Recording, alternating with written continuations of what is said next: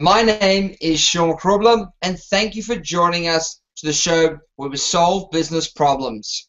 And today, the problem we're solving is all about business partnerships. Now, thank you for joining us, and thank you for our guest joining us, Dr. Greg Chapman. Greg, welcome to the show. Morning, Sean. Now, Dr. Greg Chapman has had many roles in his 30 years of business career, from working his way to vice president in a multinational company and working on three continents before starting his own company, empowering business solutions, now which is in its 10th year. His experience ranges from operations through to marketing and strategic, strategic development. His current role he's in is an advisor to small businesses owners who are sick and tired of being small. Don't we all have that problem?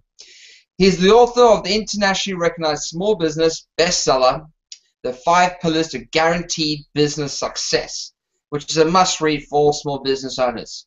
He's also a publisher of the Australian Small Business blog.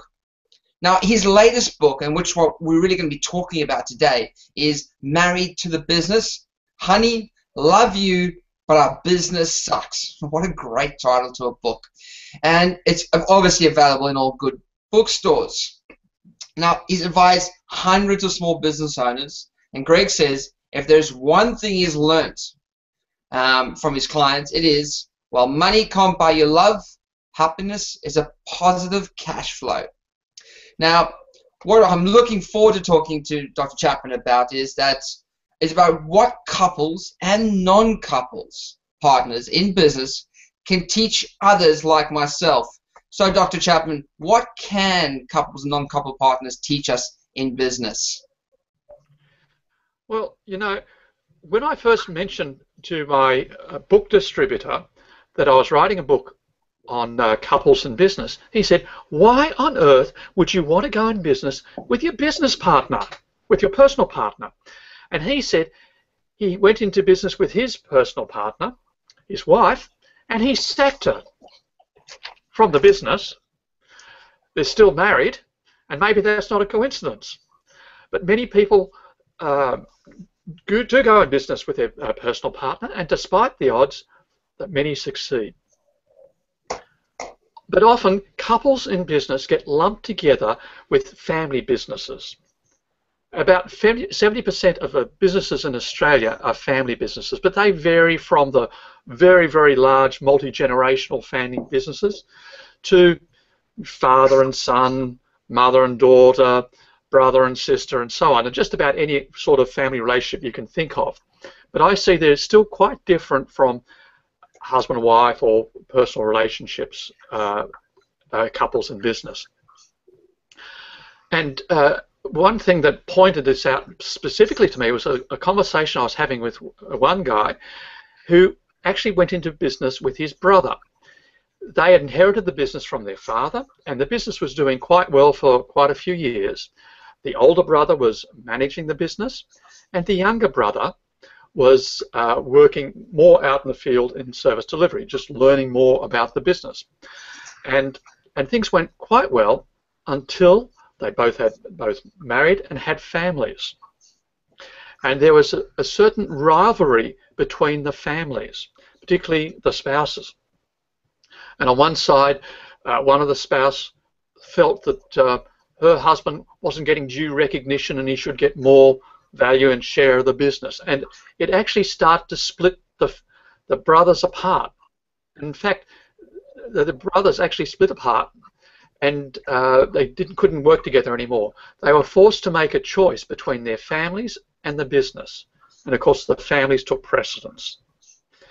Now, when couples who are in business together, you don't get that conflict, of course, because they're the same family.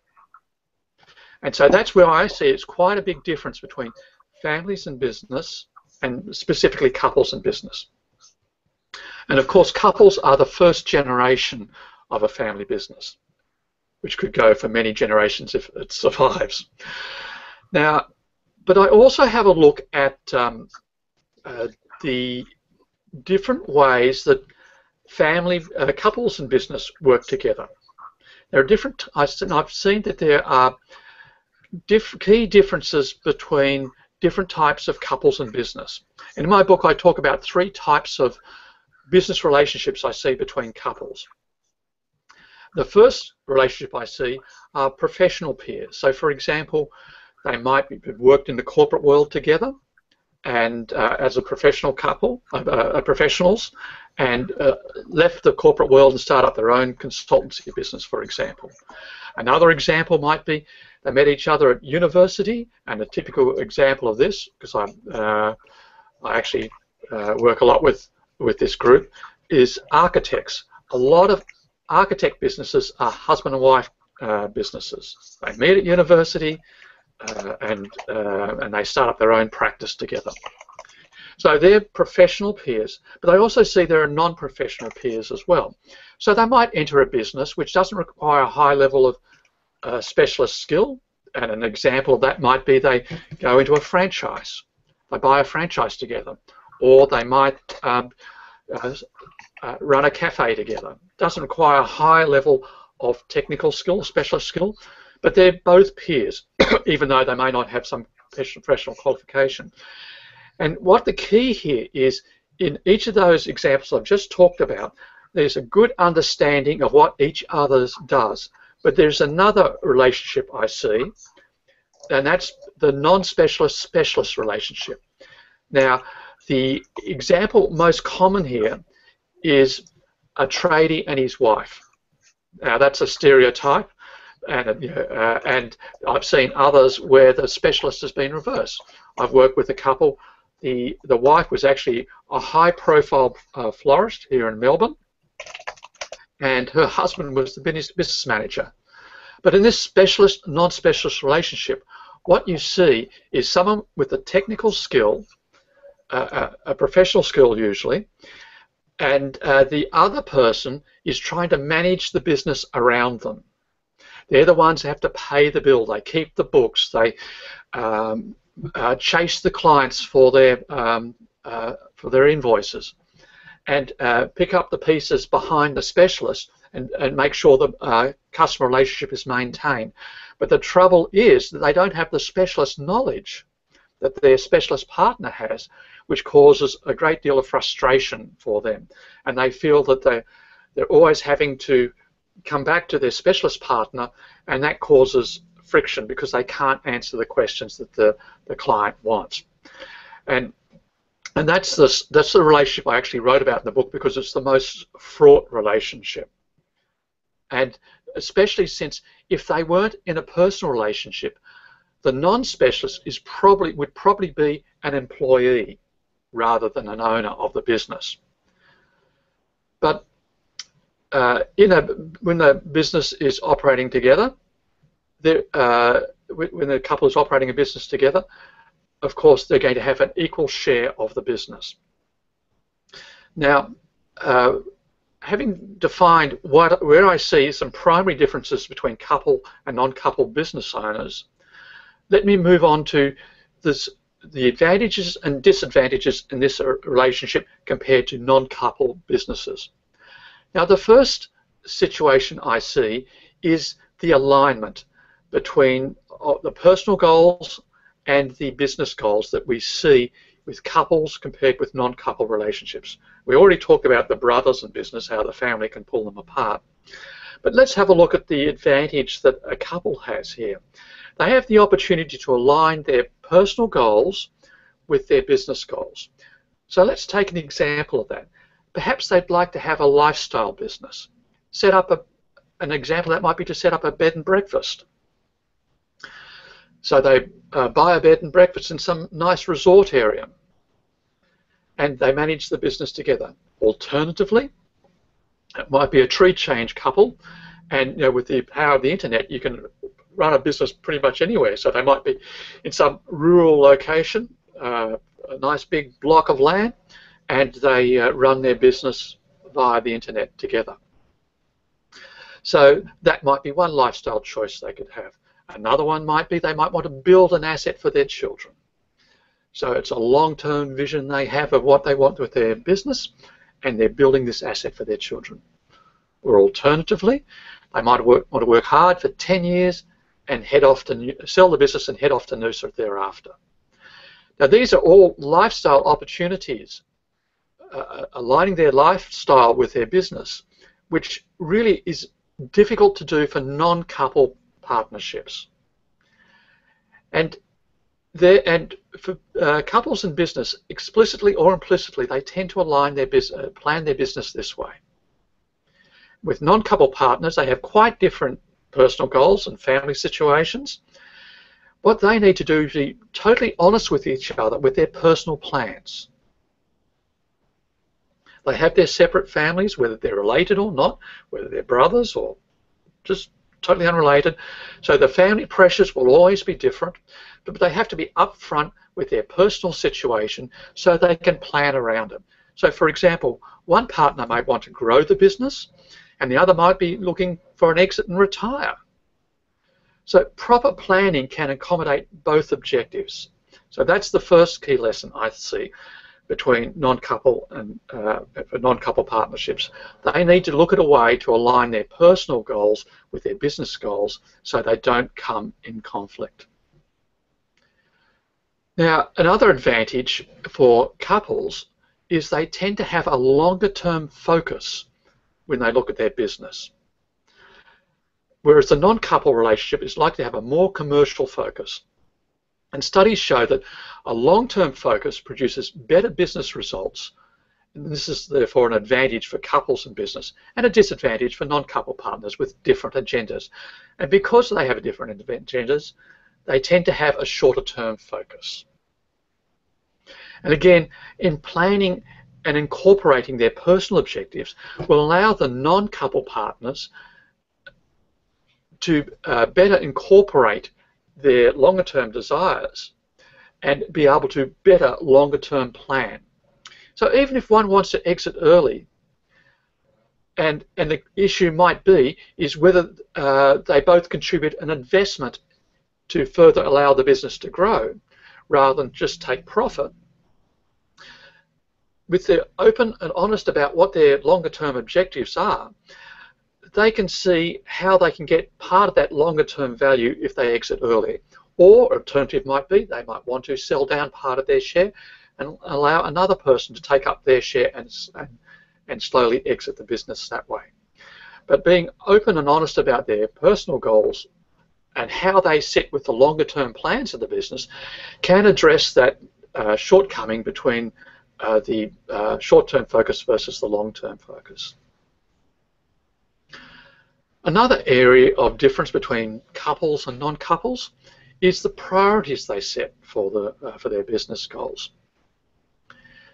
Now, for a family, that a couple in business, they will almost always prioritize their family over the business perspective.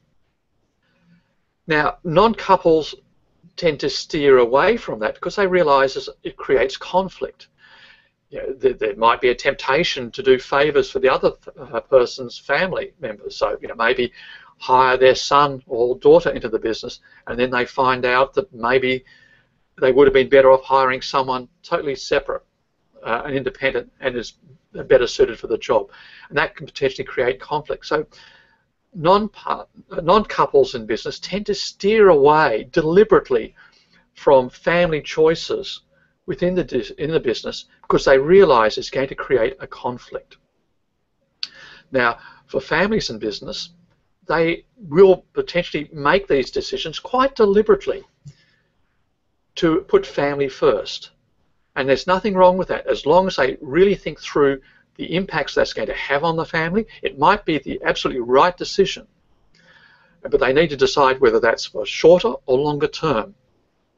And they might also consider what they need to do to mitigate those decisions. Uh, for example, one of the couple might decide to work part-time so they can spend more time caring for the children. So do they pay someone else to fill the gap or do they just wear the business impact and adjust their lifestyle accordingly? Again, there are no wrong answers here except if the impacts have not been properly considered and make sure and explicitly accepted. For uh, non-couple partners, as I say, they tend to avoid such uh, conflicts naturally and don't prioritize family at the expense of their commercial relationship they have with their partner. Couples also tend to be more risk adverse, which means they don't leverage their business in a way that non-couple partners might. And because of that, their returns could be lower. And couples do this because their whole family income may depend on the business, whereas non-couple partners may have other sources of income as well. But what is important to do is for couples to get good advice from a financial planner. And, and just as an aside, it amazes me how many business owners don't have a financial planner, couples or not. Just go and get one because you really are in a totally different situation if you're a, uh, a person who owns a business versus an employee, particularly if you're a poor employee of a large business. So uh, absolutely critical that you get that independent financial advice of your personal situation and the impact of that on the business decisions you're making. So for couples in business, the financial planner will understand their risk profile and whether it's, uh, it is acceptable to take more risk in their given in their business given their financial position. And even for non-couple partners, getting that independent financial advice is highly recommended. Now, the next area of difference between couples and non-couples is the level of trust. Now, for couples in business, whether married or in a de facto relationship, the law follows the principle, what's mine is yours, and what's yours is mine. So it doesn't matter whether you're the technical specialist in the business and, and, and the other person is just keeping the books the law will be blind to that, and so uh, they will see that the business is shared equally between the two. So even from the legal perspective, the, uh, the uh, couples can have that level of trust within the business. And as I say, because they share the rewards together, irrespective if one is only keeping the books versus the other is, you know, uh, might be the uh, providing the specialist service, they share the rewards together. In a non-couple relationship, there can be a trust deficit, and you know if one, you know, and it's really important that you know they're seen to be both contributing equally, and that trust deficit tends to be made up through formal legal agreements and contingency plans.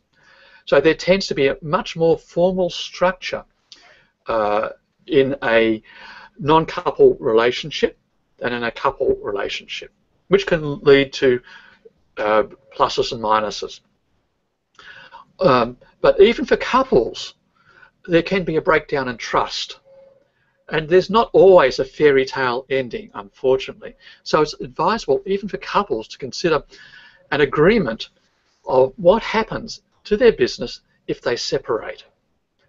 And while this can be a difficult decision to put in, if you like, a business prenup, can be seen as a lack of trust, and I can understand why couples don't do it on their personal assets because they're seen as a personal trust.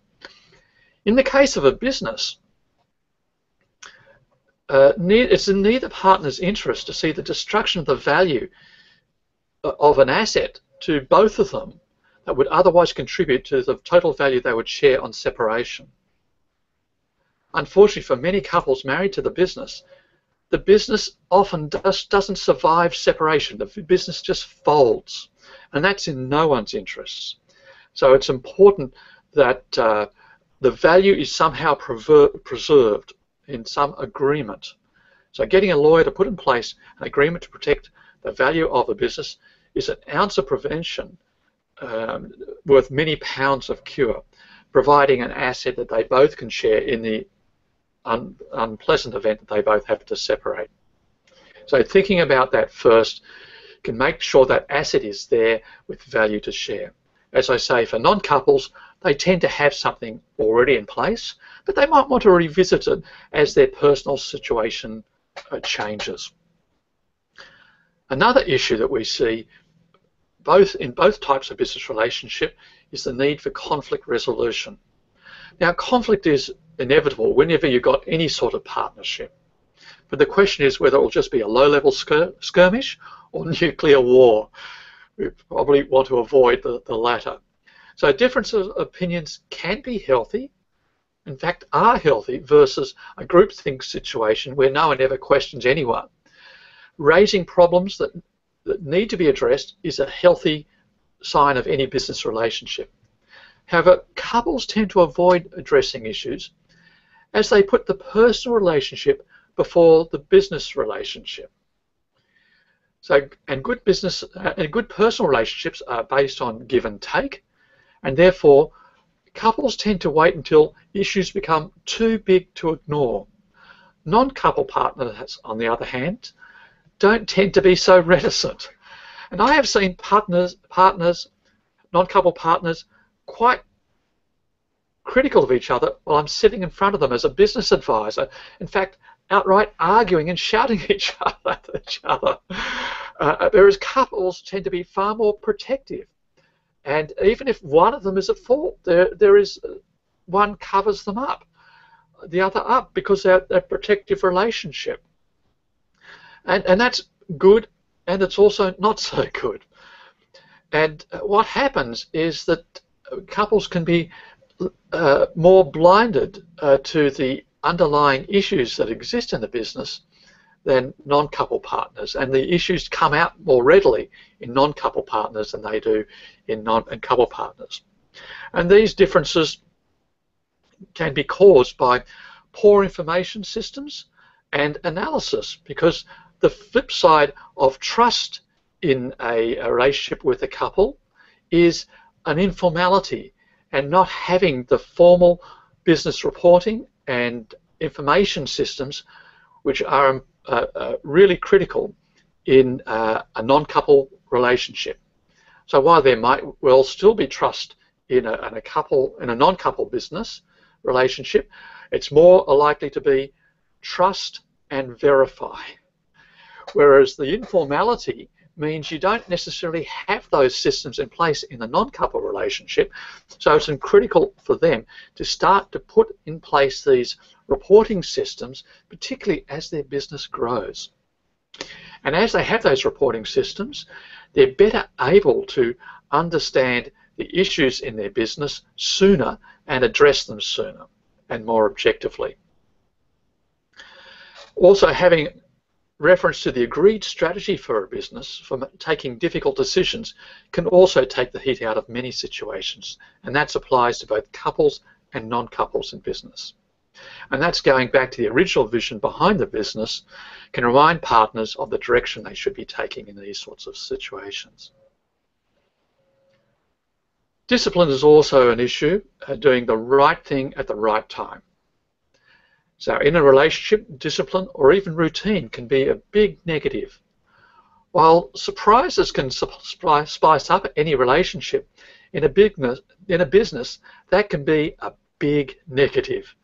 So non-couples realize sooner that this and formalize as many functions as possible within their businesses, ensuring that everything is driven by a business management system. And this includes formal roles for each of the partners. The informality between couples can work against this, whereas for non-couple partners, each has to be seen to be pulling their own weight. And often in a business relationship, there are complementary skills, and this is a good thing. And what you might find is one may be more technically focused and the other more business focused, which can be quite a good strength. And if it's true that opposites attract in a personal relationship, then couples have a, a, an advantage here. And formalizing roles is essential for all types of ownerships and leads to best, better discipline. And this is specifically true to uh, couples in business where the relationships are going to be more naturally more informal. And I think the final point I'd like to relate, raise here is getting advice.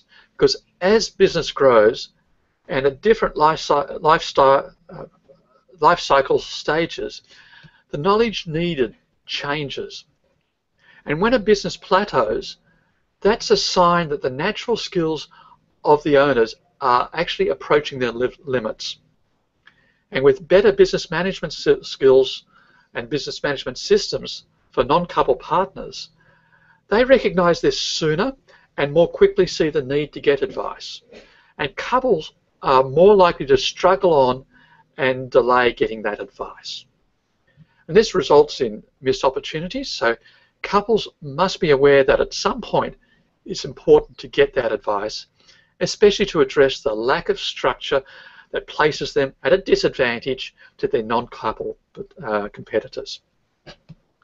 For non-couples, comparing and contrasting the difference between their businesses and couple businesses, it's important to understand the shortcomings and to compensate for them and incorporate your personal plans into your business plans, uh, making allowances for the difference in personal plans between the non-couple partners. Now, for couples in business, because it's so much of their life, the highs are higher, uh, but unfortunately the reverse is also true. But the biggest advantage they have over other business relationships is the trust they have between them, and that makes the difference. They also have a longer term focus, whereas in other relationships, it's more about the rate, rate of return. And that's not to say they can't have good returns.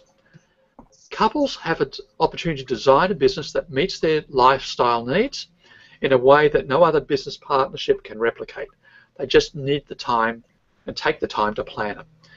So couples married to the business must remember when the celebrant says, for richer or poorer, it's a choice. Thank you. Dr. Chapman, that was very good and uh, a, a, very, very deep understanding of, uh, you know, both sides of the stories and what one has to offer and the other one. It almost seems that like um, non-couples need to learn from couples and couples need to learn from non-couples in terms of finding that happy happy medium in so many regards. I've got a couple of questions for you that people have been throwing out. Um, and uh, the questions I'd like to ask you are from people writing on Twitter and Facebook and so forth. Is it is it almost necessary then that for people who, who are couples in personally almost need to write the, a business contract very much similar to what non-couples would write when they start a business. And whether it includes personal or non-personal business stuff but they have a, a, a contract between them that outlines how they're going to run the business what's going to happen when certain things come. So they have that relationship business relationship as well as a personal relationship and they can keep them separate um, when they need to Mm. I, I, think there are two aspects to that, two answers to that, uh, parts of the answer to that question, Sean. And uh, the first, just take on the legal part first. Uh, in fact, when I wrote the book, what I did is I actually asked a colleague of mine who's actually a, a divorce lawyer. Fortunately, I've never had to use her services. so I'm by the name of uh, Lynn Lucas and uh, she wrote the appendix for the book, and she addresses the uh, need to have a formal legal agreement uh, to protect the business asset. What happens uh, if need, if couples need to separate? Hopefully, it never happens. But the idea is to protect the value of the business in case they have to separate. Now, putting aside that legal side, and really, what my advice would be to go and consult a, a, a business lawyer to structure that. I'd also advise uh, non-couples in business to do the same to make sure that the contingency planning in the case they uh, the business partners want to separate, even though they're not personally related, um, that uh, all those contingencies are properly taken into account. And the earlier on you do that in the business, the less pain there's going to be. But for the informal part of this, how you're going to uh, form, how you're going to work together, and I call this in the book the declaration of dependence. How they're going to depend on each other. How, what they agree they're going to do, and what they are going to agree not to do. So the rules of engagement. So having quite clear rules of engagement so that uh, uh, one rule of engagement might be never to criticize the other in front of the staff. Nice. And that's and that's and that's so so important because you might do it in person, but uh, and feel comfortable doing that in person. But uh, I guess when you're when you're working side by side, you need to kind of have those business formalities. Yes, and uh, and it might well another one might be to make sure keep the other uh, partner fully informed and involved in any critical decisions. So you can come up with a rule book like this, and and uh, and that's not to say those rules are never breached, but you need to make sure that uh, people are aware uh, both are aware of the rules and they can point out if there's a, if, if, an argument arises. Well, let's go back to the rules of engagement, uh, the Declaration of Independence. This is what we said we would do and that can take some of the heat out of uh, any debate. It's also important to understand, even if they have different, quite different roles, and one might be the specialist and the other the non-specialist, how they work together. So one might sort of take a, a leadership role in the day-to-day -day just because of their specialist knowledge. They both are equal partners in the business. So they need to separate out the day-to-day -day uh, with the ownership roles they both have in the business. They're both. So is that talking like responsibilities and expectations, almost like what are your responsibilities in this business, what are your responsibilities in the business, and what do we expect to happen each week, so that we feel it's a fair mix between what we must be achieving in business. Yes, well, there's the day-to-day operations, and there's the ownership role. In fact, legally, they're both directors in the business. And they, they need to have time when they sit as equals on the board as directors of the business and make decisions at that level. And then they, one of them might wear then a CEO's hat, a managing director's hat, for day-to-day -day operations, uh, under uh, uh, implement responsible for implementing the decisions they both make at the board level. So the board sets policy and uh, sets strategy, and then one of them may well take a leadership role for day-to-day uh, running of the business, but all they're doing is implementing what they've already agreed at board level. Okay. And just a quick question with, with, with regards to families and couples, there must be a lot of emotion involved in, in decision making or the, the way things happen in business, which might not, you still get between non couples, but I'm sure there's a lot more emotion with couples or family members. How do they negate that? Well, this is where the structure is so important. Having a formal structures that allows that so people know having very clear roles, so they can when they step out of the office into the family home, they know that they're wearing a different hat, and you know being able to say if someone comes up with a, a business issue, they say, well, let's put let's put that on hold and discuss that when we get into the office. So you have different spaces and different places and different times for addressing the business issues. So they're not discussing who said what to a client over dinner.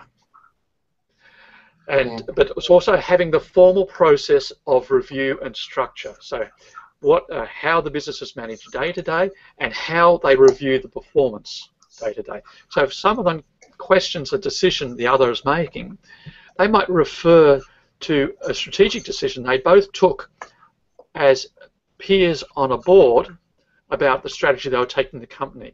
So you might say something like, okay, we said we wanted to act in this particular way. Uh, this is going to be our policy for this type of uh, situation. Do we want to make a special? Uh, do we want to make a special situation for this particular client or this particular employee? Are we making a special case of this person? Or are we going to go back? Are we going to change the rules? So taking it back to a higher level can often diffuse the situation. So someone will say, no, we shouldn't be making a special case here. You're right. So that can diffuse the situation. So having a higher level position on the way you view things can help make the decisions at the tactical level as well. That's great feedback, Dr. Chapman. I, I definitely think those structures are so important, often missed when family members or couples go into a relationship because, hey, it's going to be perfect, right? Um, I got a question here from uh, someone on Twitter, and they just asked using hashtag Sydney Month.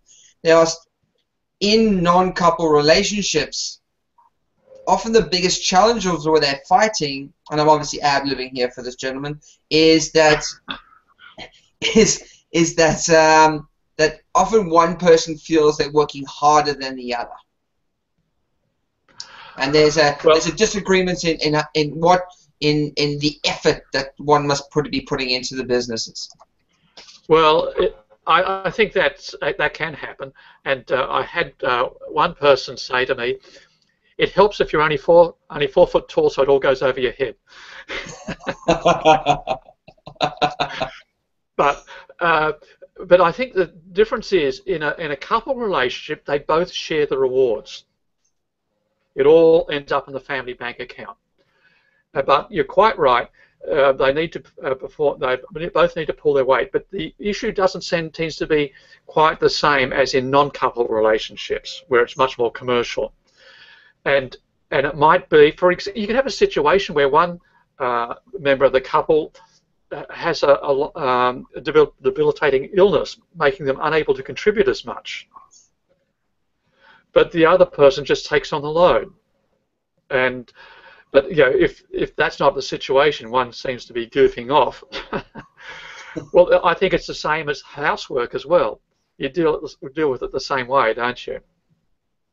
I guess so. It's um, it, it, it certainly is a challenge. I um, I know that people often, you know, they they're both splitting the the returns, yet one feels um, one feels like they're doing all the hard work and hard lifting, and eventually that, that frustration grows and builds. Um, well, well, what, what well, going back to yeah, well, going back to the going back to the tradie and his wife situation, you know, so that uh, who's a plumber, he's got his hands down drains covered in the proverbial all day, uh, and and the wife's at home in a, in a, a nice clean office, but they understand their roles. But this is why the, the, the, importance of understanding the roles. And, and quite often when I'm dealing with couples in that situation, it's well understood the contribution both makes. And, and the person with their hands down the drains also understands someone has to take the booking, someone has to make sure all the staff get paid, someone needs to be doing the marketing because the, the guy with the hands down the drain is probably not doing a hell of a lot of marketing. no, no. No, and, and you know, someone and someone's got to collect the invoices and make sure that people get paid. Yes. And uh, yes. the the bank's paid and bills are paid and all these kind of things. Yes.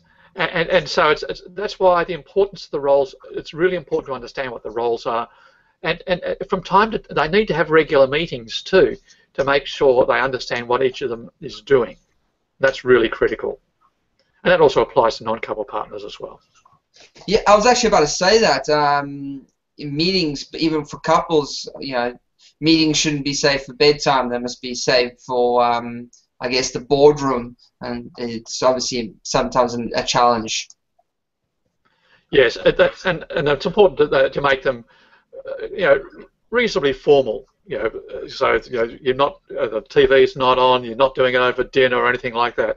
So in a place where you can focus and concentrate, as if it was you know a non-couple um, uh, looking over the uh, the monthly review of their business, looking at the uh, the financials and and the and the uh, reviewing the results of the last month.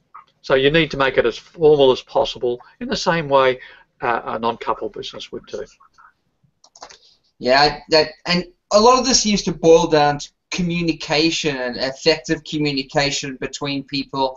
Um, you, sp you, spoke briefly about uh, priorities and being upfront, and I think one of the, the, cool things you spoke about was incorporating personal plans for non-couples, making sure that it's not just about dollars and cents, but that it's about those personal priorities and lifestyles that you've got within the non-couple relationships can you just talk to us quickly about how people need to go about incorporating those uh, personal plans within the commercial aspects of a non-couple relationship or partnership?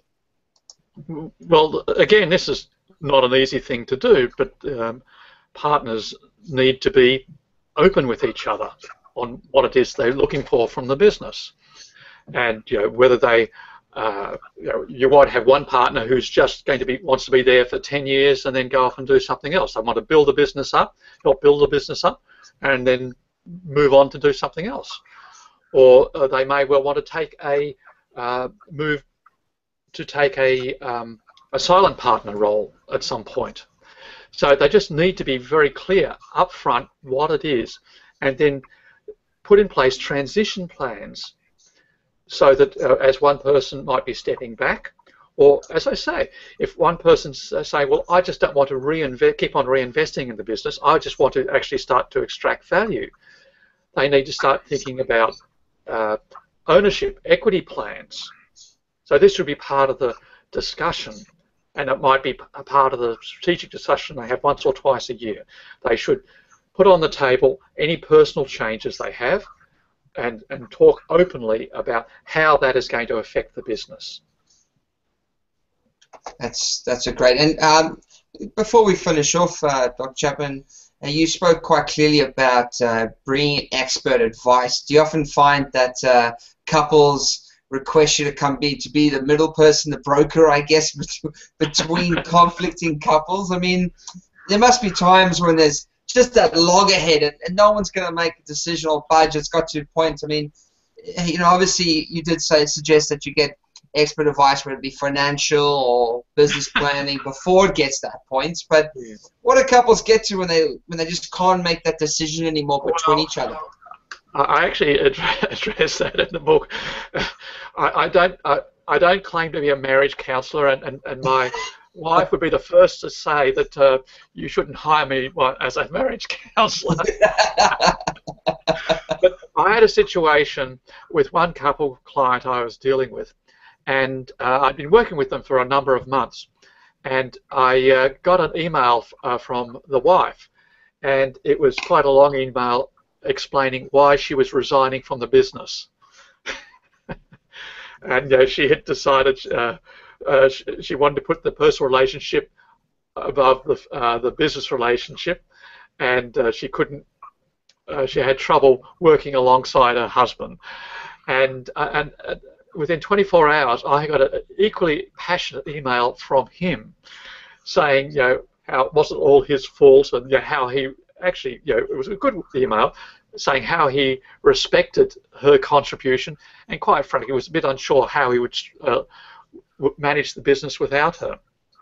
Wow. And and I actually got their permission, and these two emails are a centerpiece of the book. So I've just lightly edited the emails just to disguise the uh, uh, people behind them, but the passion is all there. And, and what happened was that um, I had a conversation with each of them independently, and I found out really that the, the wife really didn't want to resign from the business, but she didn't know the, the, any other way. And, and, I, and I also had a similar conversation with the husband, and we worked out a forward plan of how we would get over some of these issues. And uh, so it wasn't the question really wasn't about uh, divorce here. It was just working together. And again, going back to uh, my uh, book distributor's uh, wife, he actually just fired her from the business. well, but he hadn't read my book at the time. for Dr. Chapman, I obviously there are a lot of people out there who are in business partnerships, whether they're couples or non-couples. Um, who I'm sure clearly need your advice. I, have certainly been in partner relationships, and there there are hard work from time to time. Um, for those people who'd like to um, purchase or know more about your book, can you just tell us more about your book and uh, where they can get a copy? Well, the book's on its own website, marriedtothebusiness.com.au, or if you just want to find more about me, if you could go to uh, www.empowersolutions.com.au. You can find out about my other books, or if you're interested, you can request a complimentary business evaluation. And that can all be done on the Empower uh, empowersolutions.com.au website. That's right. It leads to all the other websites. Okay, fantastic. Uh, Dr. Chapman, thank you very much for your time. You've been uh, you've shared so much good quality content with us for couples out there and business partnerships. I, I thank you very much for being so open with us today. Well, thank you very much, uh, Sean, for your hospitality, being my first Google Plus Hangout. I enjoyed it very much. Well, that's another episode of Solving Business Problems. Today we went into talking about partnerships between couples and non-couples. We had the very enlightening uh, Dr. Chapman, um, who's got a best-selling author on this topic, chat to us about this. Um, I highly recommend that if you're out there and you're in a relationship, in a partnership, or just in a partnership with a non-relationship person, it's you know there are challenges that go with them. I highly recommend that you pop over to Dr. Chapman's uh, uh, website, which you can clearly see there, empowersolutions.com.au, and uh, find out more information about either a consultation or read the book. Um, that's it from this edition of Solving Business Problems. It's been fantastic having you on the show. Please stay tuned. We have a lot more shows coming up with more solutions we tackle for small businesses. That's part of the September Small Business Show. It's been fantastic having Dr. Chapman involved. Thank you very much, and we look forward to seeing you at one of our coming shows. From us, goodbye.